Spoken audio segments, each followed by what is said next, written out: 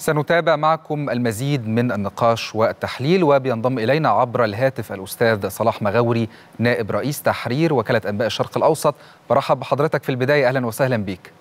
أهلا بحضرتك أهلا وسهلا. يعني في البداية نتحدث عن أهم ما قاله الرئيس عبد الفتاح السيسي خلال تفقده للأكاديمية العسكرية عدد كبير من الرسائل ما أهم ما لفت نظرك في كلمات الرئيس من رسائل. هو الرئيس اليوم خلال لقائه مع طلبة الأكاديمية العسكرية وجه العديد من الرسائل من خلال هذا اللقاء لأبناء الشعب المصري. الرئيس تحدث بكل شفافية وصراحة عن الأوضاع الاقتصادية والأوضاع التي تمر بها البلاد. الرئيس حريص منذ تولي مهام منصبه أن يصارح الشعب بكل ما لديه من معلومات. أيضا يعني الرئيس استعرض جهود الحكومة في تنفيذ مجموعة من الإجراءات للتخفيف من آثار الأزمة الاقتصادية التي تمر بالعالم ونحن في القلب منها بطبيعة الحال إلى جانب إنه الرئيس اليوم تحدث عن إنه حدثت زيادة غير مسبوقة في الرقعة الزراعية في مصر بما يزيد على 3 ملايين فدان وهي زيادة كبيرة بالفعل. أيضا الرئيس تحدث عن الأزمات العالمية التي مر بها العالم والتي كانت سببا رئيسيا فيما يمر به العالم من أزمات خاصة أزمة كورونا وبعد ذلك الأزمة الروسية الأوكرانية التي انعكست اثارها السلبيه على مجمل دول العالم. أيضا الرئيس تحدث عن أن استهلاك مصر من القمح سنويا يتراوح ما بين 18 إلى 20 مليون طن من القمح نستورد الكثير منها إلى جانب إنه اعتمادنا على الاستهلاك من زيوت الطعام يعني نستورد حوالي 90% من هذه المادة فضلا عن ذلك ان ذلك يتطلب توفير العملة الأجنبية الصعبة التي يتم بها الاستيراد. إحنا بنتكلم يعني في في هذا الجزء تحديدا أستاذ صلاح. حضرتك استخدمت يعني مصطلح مكاشفة ومصارحة وهذا ما تم بالفعل في حديث الرئيس عبد الفتاح السيسي صباح اليوم في الأكاديمية العسكرية. كان في حديث عن الوضع الاقتصادي وهو ما يشغل بال المصريين الآن. يعني الرئيس تحدث عن الوضع الاقتصادي تحدث عن أنه في خطة طموحة من إجراءات للتعامل مع هذا الوضع الاقتصادي الصعب. كلمنا عن هذا الجزء ما تحدث فيه الرئيس عن الوضع الاقتصادي وأيضا ما يمكن أن يتم اتخاذه من إجراءات. هو الرئيس تحدث عن الجهود التي تبذلها الحكومة والتوجيهات التي يعني وجه بها الحكومة للتعامل مع مثل هذه الأزمة وقال أن الأزمة ستمر وأن بالفعل هناك إجراءات ستقوم بها الحكومة في الأيام القليلة القادمة من من شأنها تخفيف الأعباء عن المواطنين إلى جانب إنه الرئيس تحدث كان منذ أيام وجه الحكومة بضرورة إرجاء الزيادة التي كانت مقررة في أسعار الكهرباء كما تعلم إلى جانب إنه الرئيس اليوم تحدث كما تفضلت بكل شفافية وصراحة وأن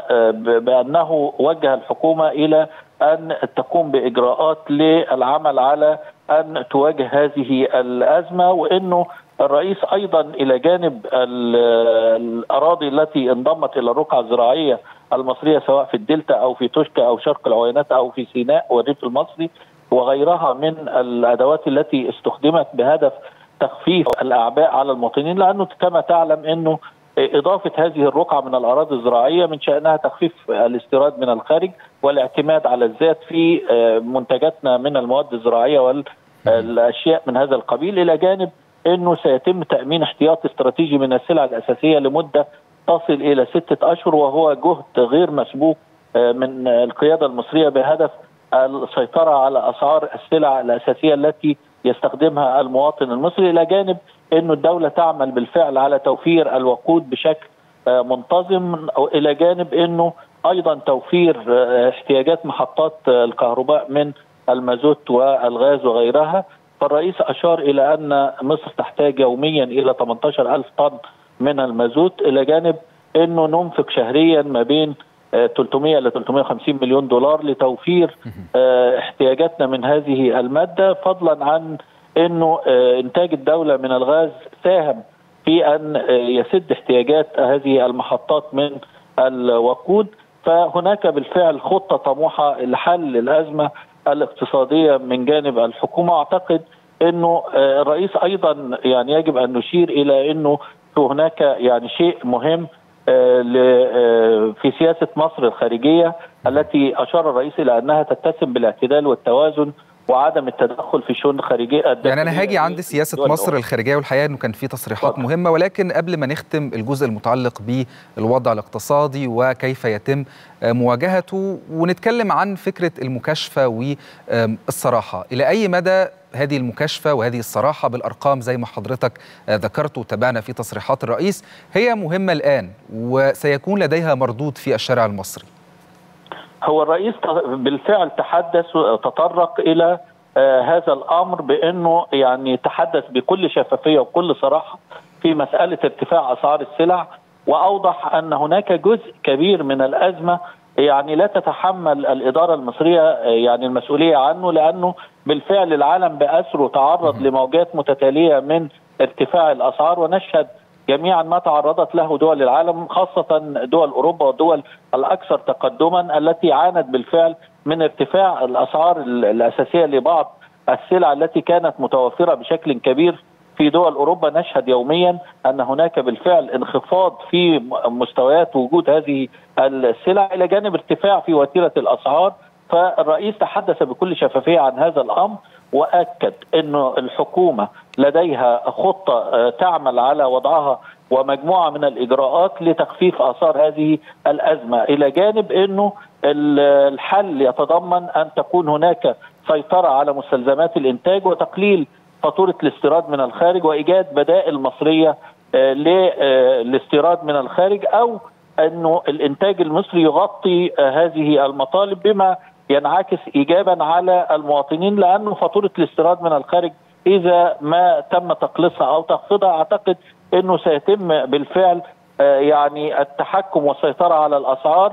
سواء الأسعار السلع الأساسية أو الأدوية أو مدخلات الصناعة أو غيرها فهي احتياجات ضرورية بالفعل وتتكلف الآن لأن إحنا بنحتاج إلى أرقام ضخمة لاستيرادها من الخارج فتوفير البدائل المحلية له أعتقد إنه الرئيس ركز على هذا الأمر وإنه ضرورة أن تتجاوز الحكومة هذا الموضوع بتوفير البدائل سواء من مدخلات الصناعة أو الإنتاج الزراعي خاصة أننا الآن يعني في سبيلنا إلى ضم رقعة جديدة من الأراضي الزراعية المستصلحة إلى رقعة مصر الزراعية. فأعتقد إنه السيطرة بإيجاد بدائل محلية هو الشغل الشاغل للرئيس وأعتقد إنه وجه الحكومة في هذا الأمر أن يكون هناك بدائل للاستيراد من الخارج للتحكم في مسألة الاسعار وأنه ده سيلمس آثاره الإيجابية المواطن بطبيعة الحال فهناك إجراءات أشار الرئيس إلى أن الحكومة ستتجه إليها في القريب العاجل أعتقد أنها ستنعكس ايجابا على المواطنين. طيب أخيرا إحنا اتكلمنا يعني مرينا سريعا على السياسة الخارجية وكان في تصريح مهم أيضا من ضمن تصريحات الرئيس إنه سياسة مصر الخارجية هي سياسة ثابتة بتتميز بالاتزان وعدم التدخل في شؤون أي من البلدان الأخرى. أهمية هذا التصريح في هذا التوقيت ونحن نشهد أزمات إقليمية كثيرة. هو طبعا سياسة مصر الخارجية منذ تولي الرئيس السيسي مهام منصبه في عام 2014 وهي تلتزم التوازن في علاقاتها الخارجية والاعتدال وعدم التدخل في الشؤون الداخلية للدول الأخرى كما أن مصر لا تسمح لأحد بالتدخل في شؤونها الداخلية. فمصر متوازنة في هذا الاتجاه وعندما استضافت مؤخرا اجتماعات دول جوار السودان كانت تستهدف الوصول إلى حلول للأزمة السودانية باعتبار أن السودان هو عمق مصر الاستراتيجي وهي جار يعني شقيق لنا إلى جانب إنه مصر استضافت يعني اجتماعات الفصائل الفلسطينية واجتماعات الأشقاء في ليبيا فمصر دائما وابدا ما تلزم ما تلتزم بسياسة التوازن والعلاقات الجيدة سواء مع شقيقتها أو مع الدول الجارة أو مع دول العالم بأسره. فهي تعتمد سياسة متوازنة واعتدال في علاقاتها الخارجية. فهي لا تسمح لأحد بالتدخل في شؤونها إلى جانب أنها لا تتدخل في شؤون الآخرين على الإطلاق وعندما تستضيف أحد هذه المؤتمرات أو الدول بهدف إيجاد حلول سلمية للأزمات المتكررة التي يمر تمر بها دول المنطقة سواء في السودان أو ليبيا أو القضية الفلسطينية. فدور مصر لا يقتصر فقط على يعني عدم التدخل في شؤون الآخرين لكن هي تتبنى سياسة التدخل عندما يعني تجد أن هناك أمرا يستدعي تدخلها فهي تسارع على الفور إلى التدخل من أجل إيجاد حلول سلمية للأزمات التي تمر بها دول المنطقة إلى جانب إنها تدخلها المباشر في القضية الفلسطينية سواء بالتدخل لتهدئة الأوضاع بين الفلسطينيين والإسرائيليين عدة مرات إلى جانب التوازن في علاقاتها الخارجية أعتقد أن هذا هو نهج السياسة الخارجية المصرية وهي تسير في هذا الاتجاه بخطى ثابتة وخطى متوازنة نعم. وهو ما أكد. الرئيس عليه اليوم صحيح. أنا بشكرك. شكرا جزيلا الأستاذ صلاح مغاوري نائب رئيس تحرير وكالة أنباء الشرق الأوسط. شكرا جزيلا على وجودك معنا.